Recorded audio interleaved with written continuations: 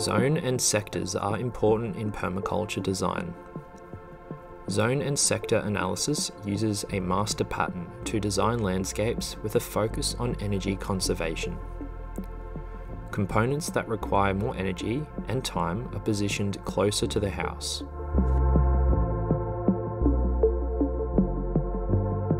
Sectors are site specific.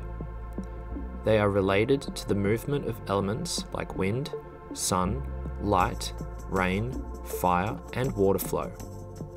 These are referred to as the wild energies. These energies are generated outside the system and pass through it.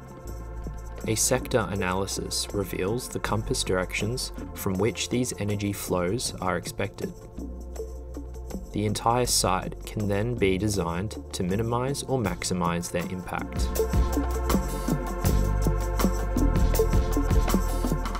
Zones refer to the way a space is divided up and how different components are positioned on the site. Components like plants, animals, and buildings are placed inside the zones. Their positions depend on their yields, functions, and maintenance requirements. The idea is to place components so that space, available nutrients, and energies are used efficiently with minimal inputs. In an ideal situation, the zones are visualized as a series of concentric circles.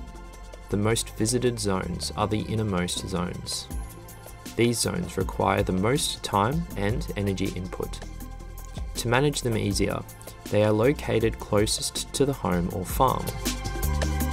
Zone 0 includes structures like houses, sheds, and greenhouses.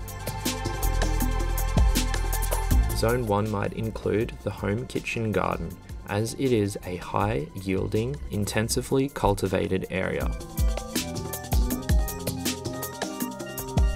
Zone 2 is less intensively managed than Zone 1.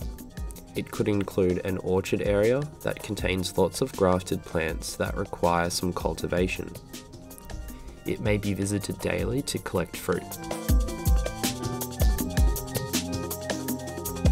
Zone 3 requires less maintenance than Zones 1 and 2.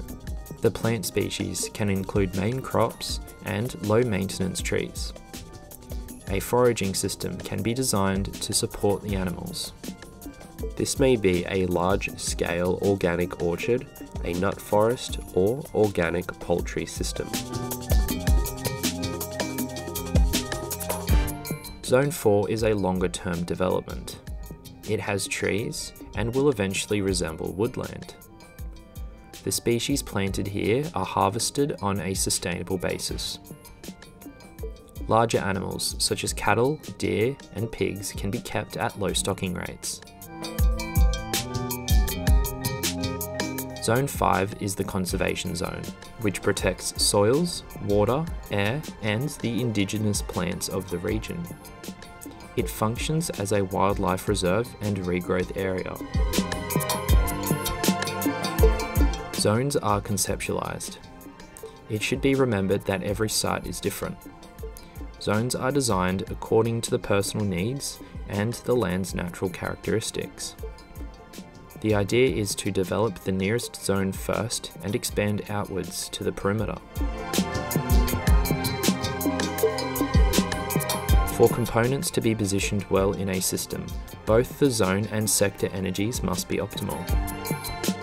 Every component should be placed so that it serves two or more functions. Every function is served in two or more ways. For example, a pine tree is not visited often, so it can go into Zone 4. It can also go in the sector away from fire danger since it burns readily, and towards a cold wind because it makes a good windbreak. The tree may provide shelter for animals as well as nuts for forage.